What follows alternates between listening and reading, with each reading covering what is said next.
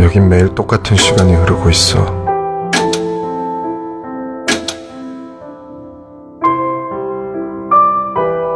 이 얘기를 네가 믿어줄까?